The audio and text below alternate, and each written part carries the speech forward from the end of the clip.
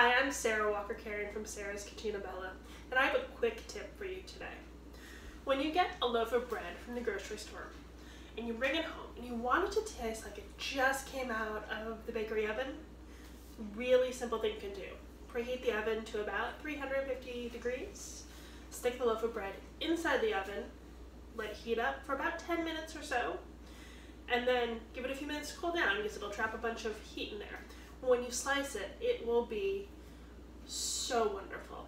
Um, it's a great way to turn just an everyday grocery store bakery loaf into something that um, is really special for whatever it is that you're having a dinner party or just, you know, Saturday afternoon lunch. I'm Sarah Walker, Caron from Sarah's Cucina Bella. Thanks for watching.